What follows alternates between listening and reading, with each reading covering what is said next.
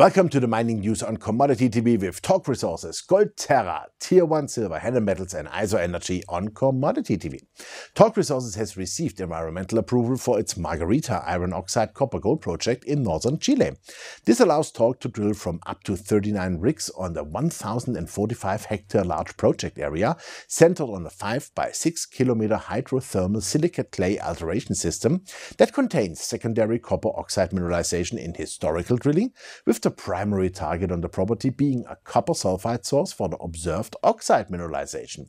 The company expects to commence its first drill program on the project in the third quarter, with 4,000 to 6,000 meters initially planned. Now things can finally get underway at Margarita, really. Target identification work has already given rise to much optimism, significant new discoveries during the upcoming drilling campaigns to be done. The company has completed a ground-based induced polarization survey over 49 line kilometers to identify chargeability anomalies that have the potential to be associated with copper sulfide mineralization. To refine the targets associated with these chargeability anomalies, Torq's technical team is conducting a property-wide soil geochemical survey on a 1 to 2000 scale geological mapping and rock sampling program to determine which structures have the strongest mineralization. Results from these programs are expected in the next few weeks and the target identification is ex expected to be completed in August.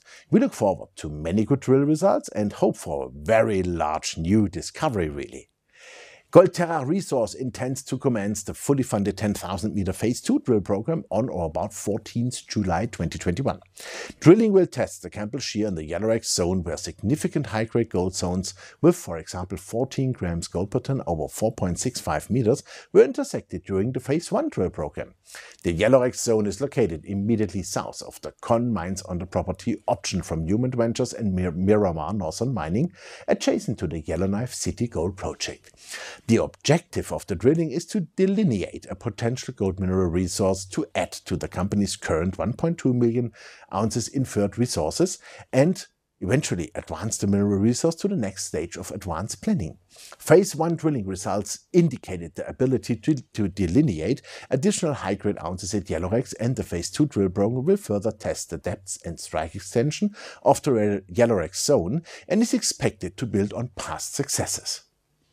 Tier 1 Silver expanded the land position by 50% at the Curibaya Silver Gold project in southern Peru by staking from 11,000 hectares to 16,800 hectares in size.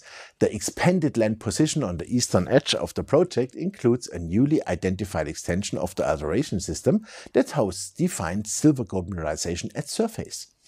This extension was identified through mapping and sampling as it passes beneath the volcanic cover following the mineralization. The company is expanding its ground-based induced polarization geophysical survey in the main Curibaya target area to include the entire map mineralized footprint.